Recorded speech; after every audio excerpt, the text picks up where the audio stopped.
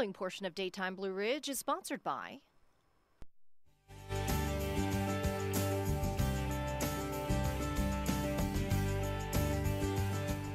The Deschutes Street Pub celebration continues. I'm back with Chef Jeff, the corporate executive chef from Deschutes Brewery, and he's giving me a sneak peek at some of this weekend's brews that will be on tap. This You is my it. favorite assignment. I love it. I know, and I love doing it with you. Last year was a blast, Yeah. and it's so cool to be back. Um, Okay, so what do you have for us today? So real quick, we're going to do the Pack, Pack Wonderland is what we call it, but it's Pacific Wonderland, which refers to Oregon because of all the different diverse environments that it has and all that. Uh-huh. So real light lager, great with seafood, chicken, poultry, that kind of stuff. You know, you definitely get more of that sort of American Pilsner almost sort of Sure. sense from it.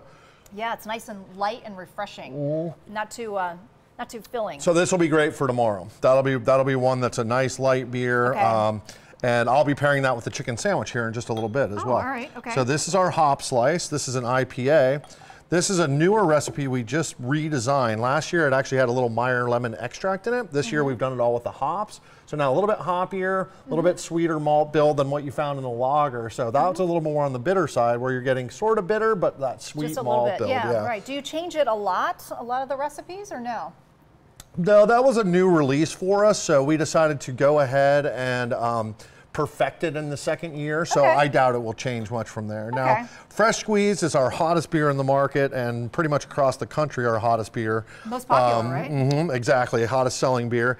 And so this is definitely on the more Yeah. Mm-hmm. side, but you get a lot more of that citrus, not Yeah. the, the lemon, but more like orange and, you know, a little bit of that herbaceousness.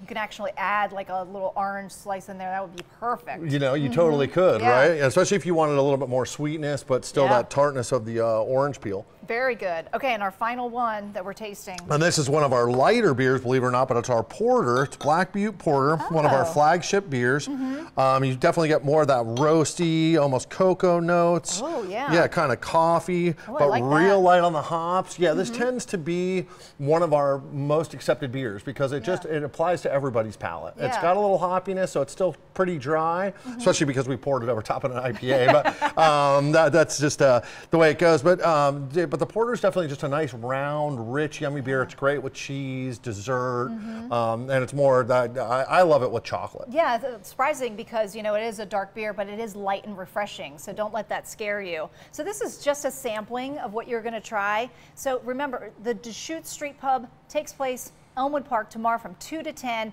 It's free for all ages. There's so much to see and do and taste, and we'll have more with Chef Jeff when we return. Don't go away. You're watching Daytime Blue Ridge.